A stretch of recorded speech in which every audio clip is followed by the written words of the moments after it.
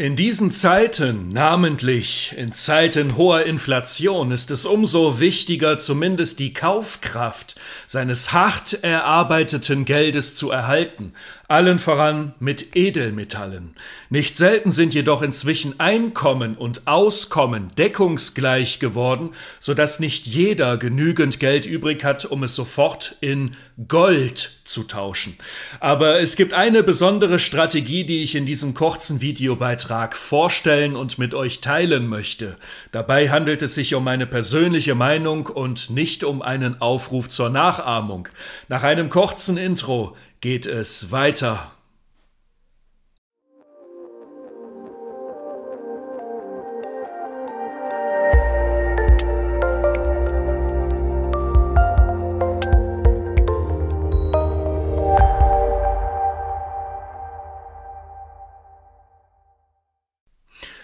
Hallo, schön, dass ihr dran geblieben seid. Zunächst einmal möchte ich ausführen, dass im mittelalterlichen Zeitraum von 1100 bis 1500 in etwa 11 bis 12 Unzen Silber für eine Unze Gold aufgewendet werden mussten.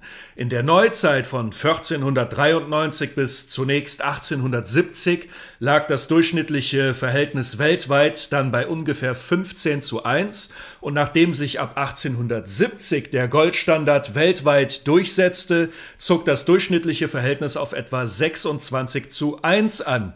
Im Übrigen habe ich das historische Gold-Silber-Ratio in meinem Buch Buch Jahrhundertchance Silber genau untersucht und auch mit umfangreichen Quellen belegt. Das würde hier und heute den Rahmen des Videos sprengen.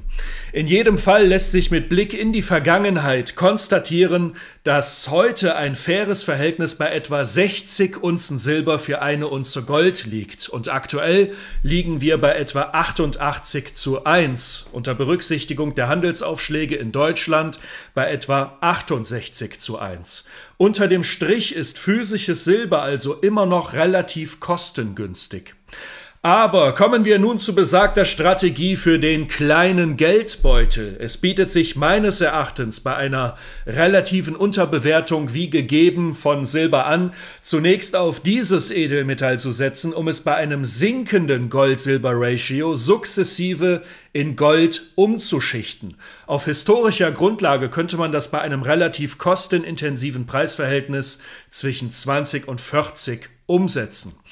Nun ist dieser in der Theorie einfache Prozess bei einem Edelmetallhändler relativ aufwendig bis vielleicht sogar unmöglich, so dass es durchaus empfehlenswert ist, sich auch mit dem Sekundärmarkt zu beschäftigen, respektive mit dem privaten Kauf und Verkauf.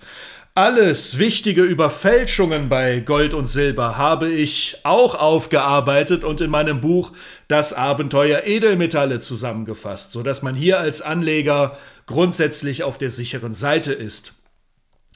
Zum Schluss dieses Videos möchte ich noch auf die grundlegende Frage eingehen, wie groß der Anteil von Gold und Silber im persönlichen Vermögensportfolio in etwa sein sollte.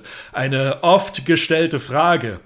Und hier bietet sich das sogenannte Pareto-Prinzip an, benannt nach dem italienischen Ökonomen Wilfredo Pareto. So werden 80% der Ergebnisse mit 20% des Gesamtaufwandes erreicht, wiederum erfordern die verbleibenden 20% der Ergebnisse mit 80% des Gesamtaufwandes die quantitativ meiste Arbeit. Nun wird das Pareto-Prinzip oft kritiklos für eine Vielzahl von Problemen eingesetzt, so auch und vor allem im Finanzbereich. Jedoch lässt sich nicht das statistische Phänomen von der Hand weisen, dass eine kleine Anzahl von hohen Werten einer Wertmenge mehr zu deren Gesamtwert beiträgt als die hohe Anzahl der kleinen Werte dieser Menge. So orientiere zumindest ich mich an einer Verteilung von Gold und Silber im Portfolio mit 80% Gold und 20% Silber. Je nach den persönlichen Überzeugungen des Anlegers ist das jedoch auch umgekehrt durchaus legitim, also 20% Gold und 80% Silber. Wie seht ihr das Ganze? Schreibt gerne einen Kommentar unter dieses Video. Auf eure Meinung, auf eure Sicht der Dinge bin ich wirklich sehr gespannt. Einstweilen, wenn ihr noch mehr Videos von mir sehen und ihr meine Arbeit hier auf YouTube unterstützen möchtet, dann abonniert jetzt diesen YouTube-Kanal. Das ist kostenlos und mir hilft es enorm weiter, weiterzumachen. Und wenn euch dieses Video gefallen hat, dann gebt diesem Video jetzt einen Daumen nach oben und in jedem Fall sehen wir uns sehr gerne im nächsten Video wieder. Ich wünsche euch alles erdenklich Gute, eine tolle Restwoche, bleibt gesund, bis bald.